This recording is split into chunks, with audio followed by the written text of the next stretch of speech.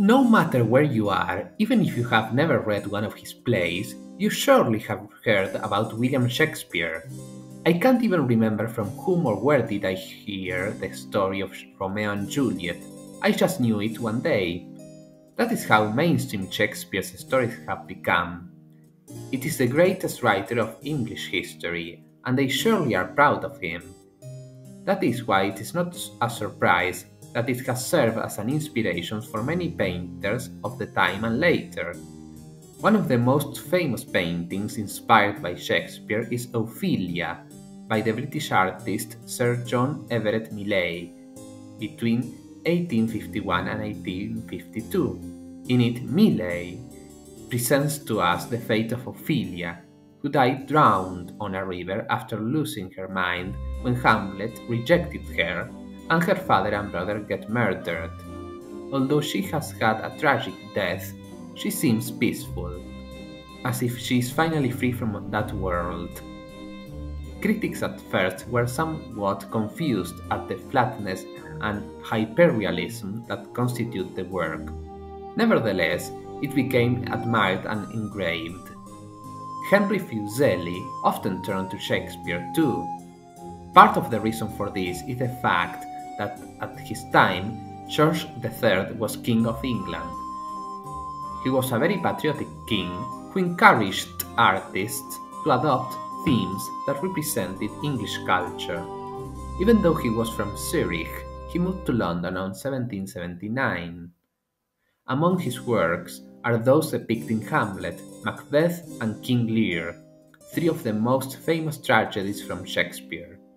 Furthermore, Long after King George III, artists kept choosing Shakespearean themes to express British nationalism.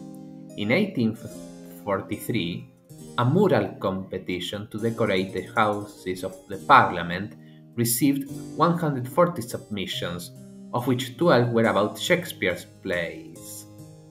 Contemporary to this, the Shakespeare Room in London was created by Isambard Kingdom Brunel full of paintings by Charles Robert Leslie, Clarkson Stanfield, and Sir Edwin Landseer. Another artist who was clearly a fan was John Hamilton Mortimer.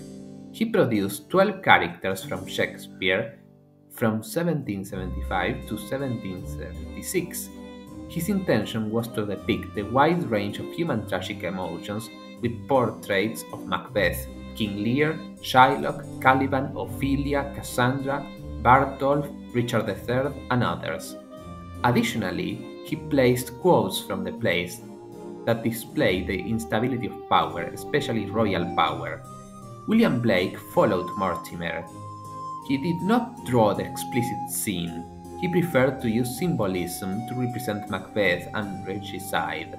And we can't forget his painting of the Midsummer Night Dream, in France, Shakespeare fever reached in the Romanticism. One of the main exposers was Eugène Delacroix, who loved Hamlet. He made paintings and lithographs in the space of nine years between 1834 and 1843. Delacroix's creation had such success that in 1844, Theodore Chasseriau was commissioned to etch 15 images from Othello by Eugène Piot, an art historian. He focused on the last part of the tragedy moved by the green-eyed monster. Following the incredible success that the plays had internationally, painters from other parts of the continent and the globe followed the British and the French in their creations.